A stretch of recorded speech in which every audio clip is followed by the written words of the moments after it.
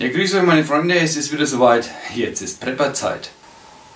Ja, grüße euch meine Freunde, wir sind am Dachboden oben. Ähm, heute Notfallklamotten, die zweite quasi. Die erste Ausstattung war billig, aber noch billig und keine Ahnung. Und äh, ich habe äh, hauptsächlich welche. Ähm, unten im Keller ist es natürlich, äh, wenn man das länger lagert, auch nicht das Beste. Man bräuchte eben trockene Räumlichkeiten. Das ist bei mir jetzt der Dachboden. Und da habe ich mir jetzt da im Schrank ein bisschen Platz geschafft. Das schauen wir jetzt noch an. Und dann stelle ich das Zeug einzeln vor. Ja, und dann könnt ihr mal drunter schreiben, was er davon halten tut. Tut. Halten tut. Ja, so sagt man das bei uns. Gut. jo, das ist quasi das Innenleben vom Schrank. Da passt noch viel rein. Ähm, ja, so schaut es aus. Hose separat. Äh, das ist meine, ja, für die Arbeit damals schnappen und weg. Ähm, ja, für ein, zwei Tage Tasche war das. Ja, und da oben haben wir dann noch das neue Equipment. Ist natürlich nicht fertig. Ja, stellen wir dann auch einzeln einmal vor. Es soll ja nicht mehr so viel am Körper dran sein. Was halt einfach ein bisschen umständlich ist und das, äh, der Gürtel aber ich nehme da schon wieder zu viel weg. Ja, dann hätte ich gesagt, fangen wir mal an. Nummer 1, das Langarm-Unterhemd. Und zwar ist es jetzt aus 100% Baumwolle. Ähm, in meinem Notfallrucksack habe ich natürlich Merino-Wolle drin. Dadurch, dass man da, äh, wenn man die Länge anhat, nicht gleich so müffelt. Ja, ich bin jetzt da nicht von der Firma unterstützt worden. Ich habe mich jetzt an Arbeiter orientiert die was ähm, quasi die Firma Tag ein, Tag aus benutzen. Die einen waren zufrieden, die anderen waren weniger zufrieden. Natürlich ist das jetzt nicht die beste Ausrüstung, aber das können wir zum Schluss machen. Also wie gesagt, einmal Langarm Unterhemd. Ja, das nächste, ups, wäre dann einmal mein Hemd. Und zwar natürlich auch Langarm. Äh, der Vorteil bei diesem Hemd, wenn ihr es erkennen könnt,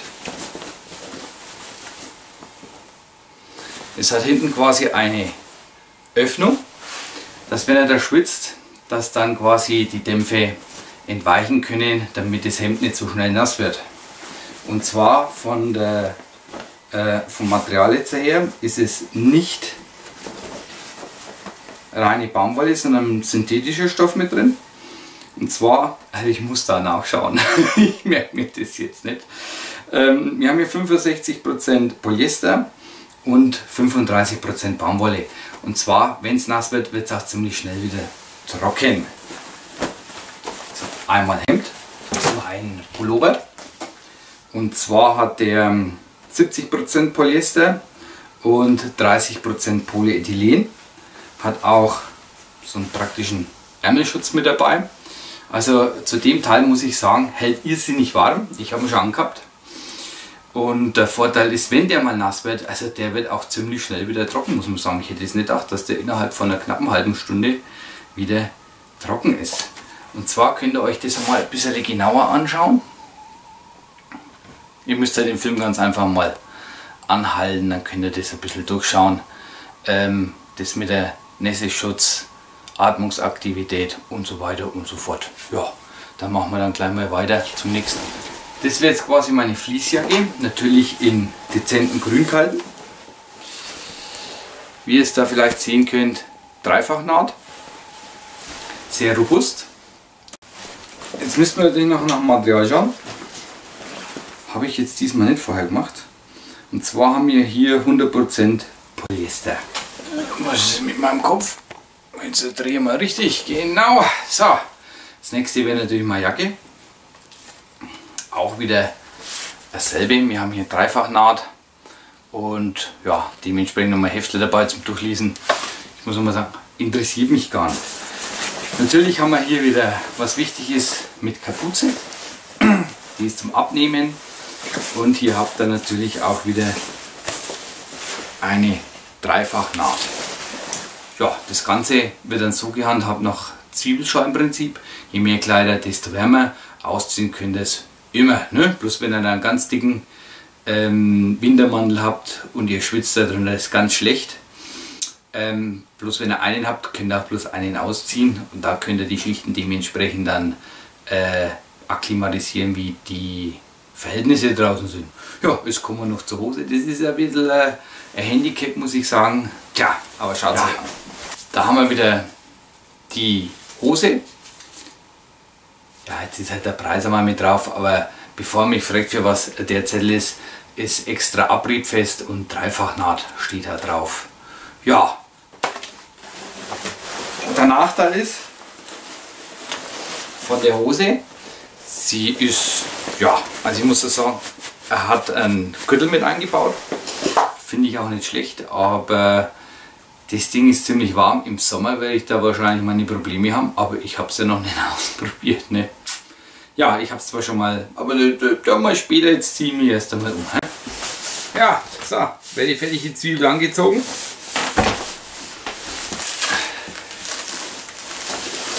So schaut es aus. Also frieren tut er da normalerweise nicht mehr. Was haben wir da oben drin? Und zwar und ein paar Angelhaken drin.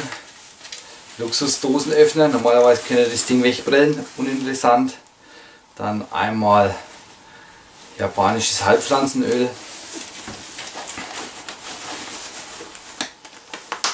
Ich habe mir jetzt mal vorgenommen, die Taschen natürlich nicht mehr so voll zu packen. Da ist gar nichts drin.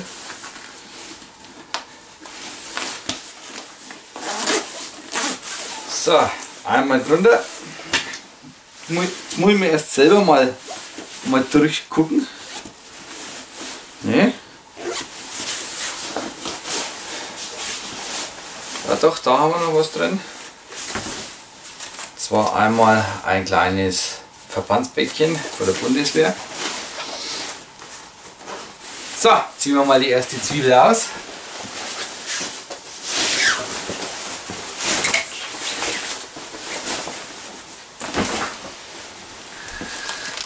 Einmal die normale Fließjacke. Was haben wir da drin? Ah. Da haben wir einmal unser Erste Hilfe Kit, das habt ihr ja schon gesehen was drin ist. Äh, Moment, Erste Hilfe Kit ist nicht so ganz richtig. So. Äh, wie sollte man eher dazu sagen, äh, so ein kleines Notfallset. Ja, aber wie gesagt, ich habe das schon dran gebracht, wenn dann müsst ihr euch durchklicken ist auf jeden Fall schon auf Film gebannt. Dann brauchen wir das nicht mehr dran bringen. So, was haben wir auf der anderen Seite drin? Und zwar, ich weiß, ist nicht das Beste. Einmal Magnesium, Feuerstarter, zweimal Halsbonbons, eingeschweißt, ewig haltbar. Ja, anscheinend hat er aber nicht gewusst, wo es hin tut. Was haben wir da? Einmal, das sind, das sind Wasseraufbereitungstabletten für, was hat der Herbert hingeschrieben? 120 Liter. So.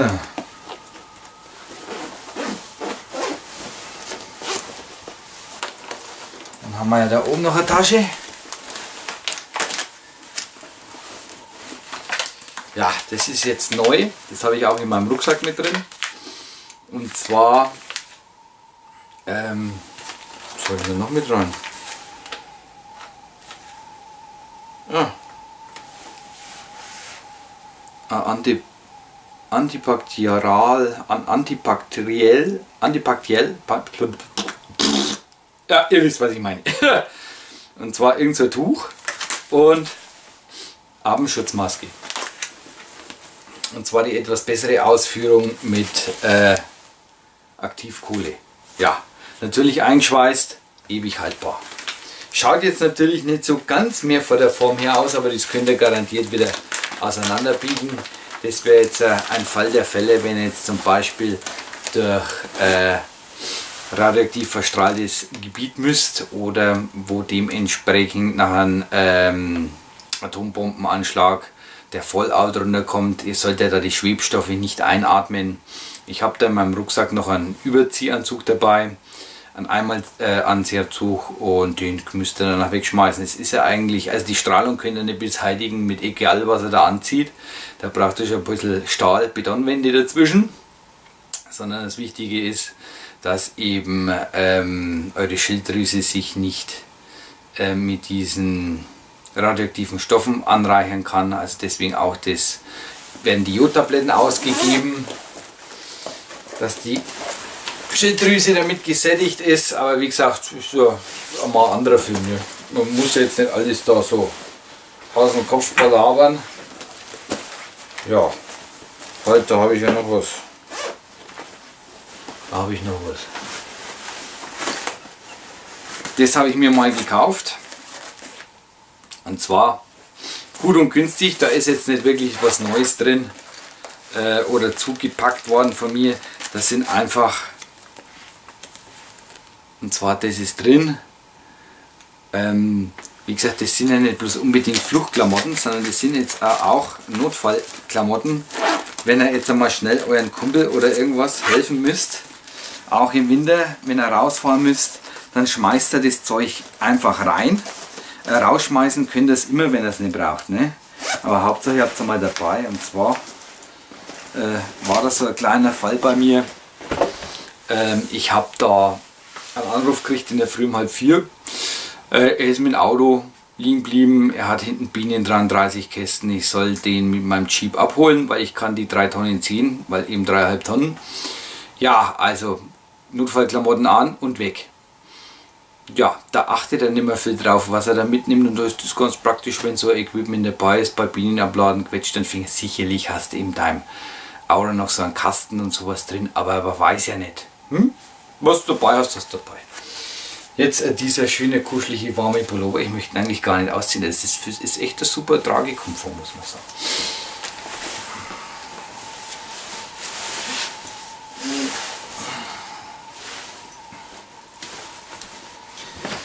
Ha, und da habt ihr dann quasi das Hemd mit dem dementsprechenden Langarm-Shirt. Das Hemd könnt ihr dann auch noch ausziehen im Sommer.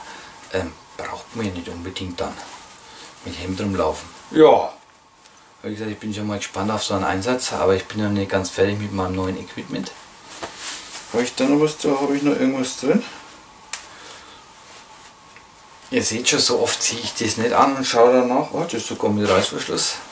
Das heißt, ihr könnt es auch nicht verlieren, wenn es aufhängt. Das hat der Herbert da drin. Und zwar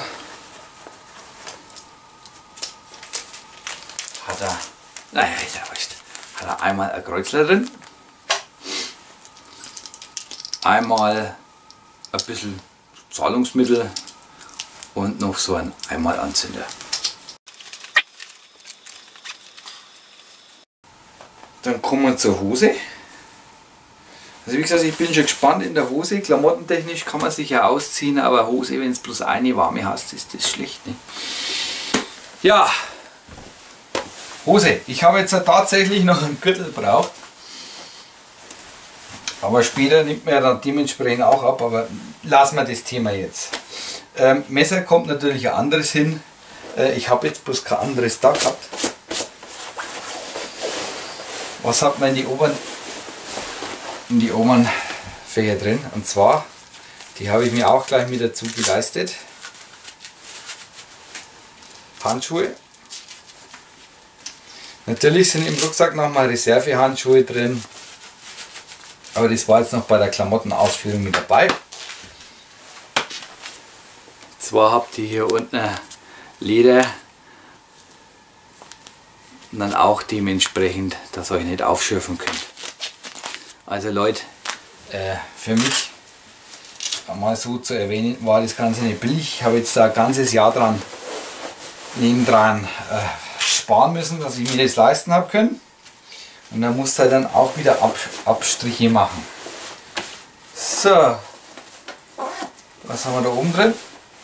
Da gehört normalerweise noch euer Geldbeutel rein. Einmal Uhr, selbst aufziehend. Ganz wichtig.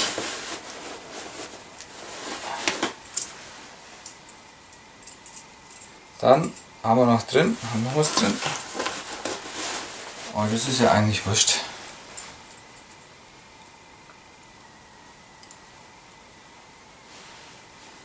Einmal Goldringe zum Zahlen.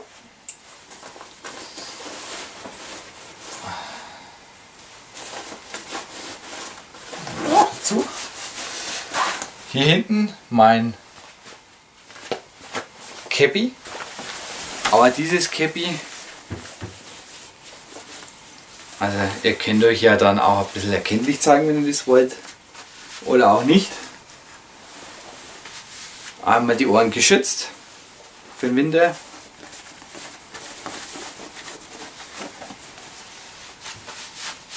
Oder Blankos. Ja. Habe ich natürlich im Rucksack auch noch welche dran. Aber ihr kennt sie schon kennen. Naja, lassen wir das. Jo, dann geht es in dieser Tasche weiter. Also Taschen sind ja echt ganz nett, aber ich muss noch mal ein bisschen tiefer einstellen, Freunde. So. Jetzt haben wir wieder meine, meine Kamera umgeschwenkt. Einmal die vordere Tasche habe ich jetzt da drin einmal eine Powerbank mit dementsprechend großen Speicher. Äh, was da jetzt noch ein schön ist an dieser Powerbank, ihr habt da gleich euer Ladestecker mit dran.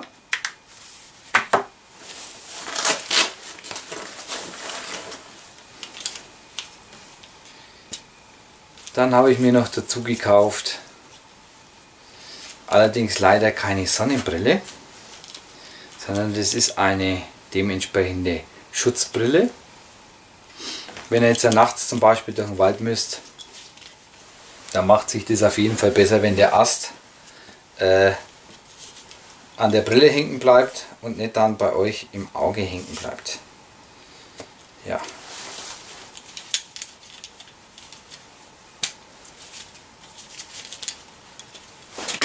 Egal.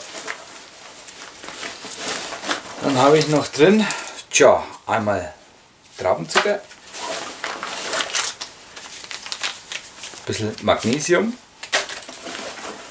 ich weiß, man könnte auch was anderes da rein tun, aber ich brauche dementsprechend auch halt immer mein Magnesium. So.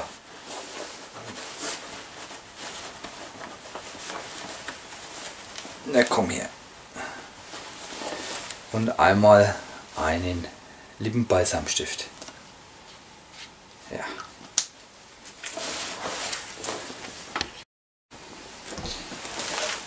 Dann in den unteren Bereich, wo die Knieschoner sind. Also ich finde Knieschoner echt super.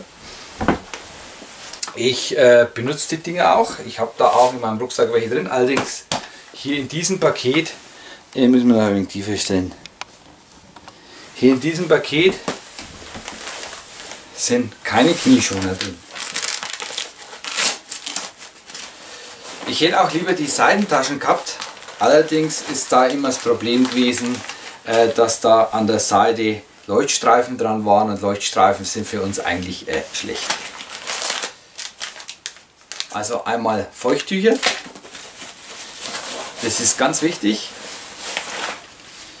Ja, dann haben wir da noch einmal den Handschuh für links. Genau, das habe ich mir auch noch dazu gekauft. Einmal im Winter für den Kopf eine sogenannte Schneemaske.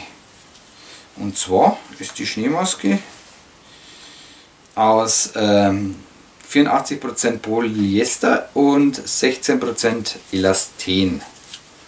Dann können wir aufsetzen. Ja, aber wir machen erst einmal die andere Tasche. He? Und somit ist die Polstertasche schon wieder mit etwas anderem genutzt worden. So.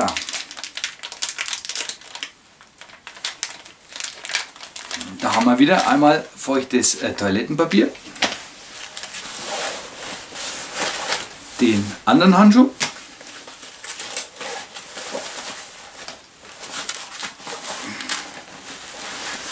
Ach ja, da haben wir so einen, einen dementsprechenden Schal. Aber wie gesagt, da muss man jetzt eine andere Einstellung machen. Einmal zu unserem Schal.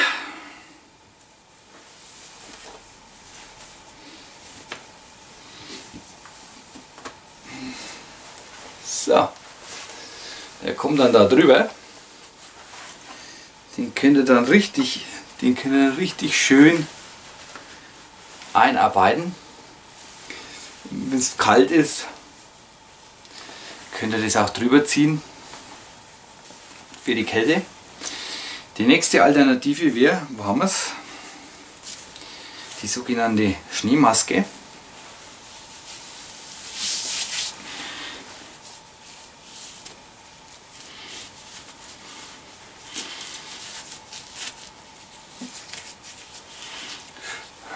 So, jetzt muss ich mich selber mal anschauen.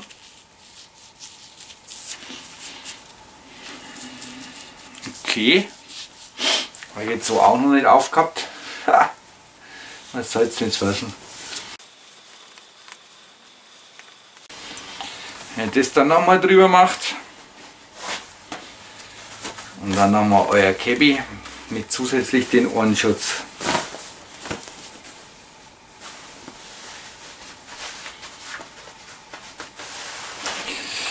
Und dann den Pullover oder, oder besser gesagt euren Fließjacke, Fließweste oder Pulloverkragen noch zumacht. Also dann dürft ihr eigentlich nicht mehr frieren. Wenn ihr dann noch friert, dann habt ihr sowieso andere Probleme, wie dass euch der Kopf abfriert, weil vorher sind eure Füße und die Finger eingefroren, weil da in der Hinsicht habe ich keine so guten Handschuhe an. So, ich ziehe mir mal ja, hin. Dann machen wir mit der Seite gleich weiter. Gesagt, oben haben wir den Handschuh drin. Hier haben wir dann noch ein paar Seitentaschen. Da haben wir einmal unseren Feuerstahl. Dann habe ich hier auch eine aufziehbare und selbst aufziehende Taschenuhr.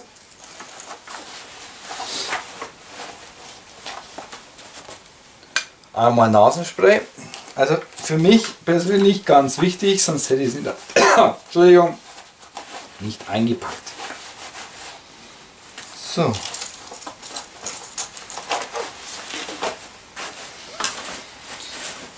Äh, jetzt müssen wir wieder ein bisschen, ein bisschen rumspielen, aber äh, egal. Und was ich da noch drin habe, eine ganz einfache Stirnlampe. Geht natürlich jetzt nicht. Und zwar, Batterien sind zwar drin, aber die müssen natürlich auch alle, alle Jahre mal austauscht werden. Und zwar kleiner Schnipsel drin, Schnipsel rausziehen, zumachen und dann muss es funktionieren. Ist also ziemlich einfach. Ihr habt Starklicht, Schwachlicht, Blinklicht. Und ich habe eigentlich gedacht, dass das Blinklicht auch da Licht ist. Ah, und dann habt ihr auch. Ah, muss man selber umspielen. Genau. Und dann habt ihr auch noch ein dementsprechendes Rotlicht. Ja, mehr braucht man einfach nicht. Dann habe ich da eine zweite Zeckenzange.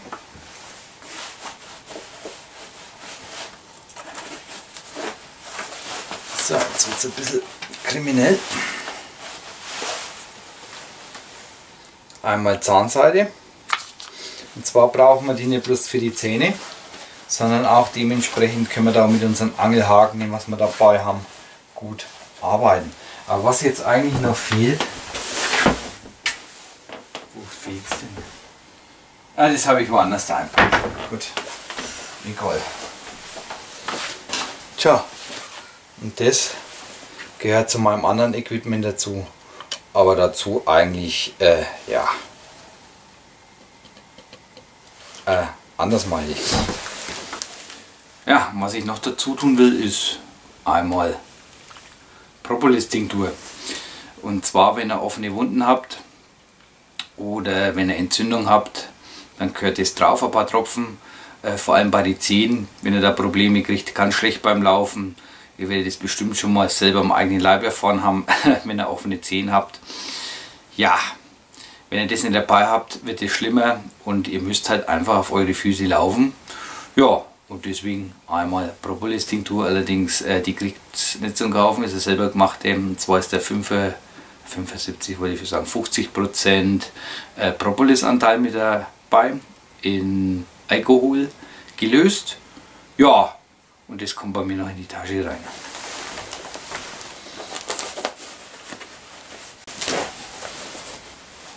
Ja, dann wäre auch der Film mal zu Ende. Dann sage ich mal Dankeschön an der Stelle, dass ihr bis zum Schluss dran bleibt seid. Ja, bis zum nächsten Bribber-Film. Film. Ähm, ja, als nächstes möchte ich dann meinen neuen Gürtel vorstellen. Aber der ist noch nicht ganz so fertig. Das dauert noch ein bisschen. Aber ich denke mal, bis zum nächsten Film werde ich das schon schaffen. Ja, und dann möchten wir mal einen Sommerausflug machen. Ich hoffe, ich denke, ich meine, vielleicht geht die kleine Tochter wieder mit. Und dann werden wir mal wieder das Wochenende draußen verbringen. Allerdings muss sie dann mit dran, nichts in der Wohnung. Und dann werden wir das Ganze mal ausprobieren. Ja, also bis zum nächsten Mal. Wenn er meint, an der Klamotte kann man noch ein bisschen was äh, verbessern. Also was noch mit am Mann muss. Aber wie gesagt, ich, äh, ist eh schon viel zu viel drin. Könnt ihr Kommentare reinschreiben. Und ähm, klamottentechnisch denke ich jetzt einmal vom Equipment und von der äh, ja, ich sage mal von, wie sagt man, von der Skala von 1 bis 10, denke ich jetzt einmal, ja, befinden wir jetzt so in einer guten 7. Ne? Also man könnte natürlich nach oben noch äh, ganz andere Klamotten sich anschaffen, mal wie gesagt vom Preisverhältnis äh, her ist das jetzt so mein Maximum, was ich da investiere. Also das bleibt jetzt auch so. Ähm, ja, ich habe es jetzt deswegen auch kein Tarnfleck, weil wenn ihr dementsprechend unterwegs seid, äh, sollte man sich ein bisschen vom Militär unterscheiden als Zivilist und äh, in der Masse dementsprechend auch untertauchen können, dass man nicht ganz so auffällt. Ähm, bei dementsprechenden Kontrollen eventuell, wobei man das ja allerdings äh, immer meiden sollte, aber das wisst ihr ja selber. Ja, und dementsprechend auch ein, ein leichtes Grün, fällt auch im Wald nicht so auf. Und was dann noch hinzukommt, Oh, jetzt, jetzt, ja, jetzt liege ich drauf. Äh, man kann es auch als Hecher benutzen. Ne? Und wenn ich jetzt einen Notfall habe, wie beim Band, ähm, das ist ganz einfach, die Klamotte anziehen, da könnt ihr auch ins Gasthaus gehen. Ähm, für die anderen fällt es jetzt gar nicht so auf, äh, sondern seid ihr halt Arbeiter, Waldarbeiter oder äh, von der Gärtnerei, Landschaftsgärtner, die haben ja auch dementsprechend grün an. Ähm, da könnt ihr euch dann auch im Normalfall dann wieder draußen bewegen, äh, bewegen ohne dass er auch zur jetzigen Zeit draußen auffallen würdet, also öffentliche Verkehrsmittel nutzen und so weiter und so fort. Äh, wenn er jetzt mit Tarnfleck draußen rumrennt, ähm, ja, also da habt ihr auf jeden Fall, guckst du, ne? Fällt, da fällt auf jeden Fall auf und das gilt ja dann auch hier zu vermeiden. Äh, ja, also ich quatsche wieder viel zu lange, ich weiß. Also bis zum nächsten Mal. Daumen nicht vergessen, vielleicht Kommentar reinschreiben, aber bitte nicht noch, äh, ja, ja lass, spar, ich spare mir das jetzt. Also, Servus. Ja, was hat der Herbe vergessen? Schuhe. Ja, und zwar, was habe ich da jetzt für Schuhe? Das sind die normalen, äh, ja, Bundeswehrschuhe. Und zwar sind es getragene Stiefel, sollen über den Knöchel hochgehen. Einmal die Sohle natürlich vorher rausnehmen. Dann habe ich da noch, äh, ihr kennt es bestimmt selber, und zwar, äh, ihr nehmt da eine Zeberrolle, schneidet die auf, steckt die rein, dann kann das dementsprechend ausgasen äh, oder dementsprechend auch zirkulieren dann habt ihr da keine Schimmelbildung drin. Egal wie, wie es da eben ist, aber so habe ich die im Keller gelagert gehabt und die habe ich jetzt neben dran hingestellt. Bei meinem Rucksack ähm, sind auch nochmal Schuhe dran von Ubex. Äh, Bergschuhe auch nochmal in der Form. Das heißt, falls man da oben nicht mehr raufkommt, sind da unten auch gleich nebendran Schuhe. Ähm, und dann habe ich noch mein, wie vom letzten Mal auch, Stiefelmesser. Ja. Und somit wäre die Klamotte zumindest einmal abgeschlossen. Servus.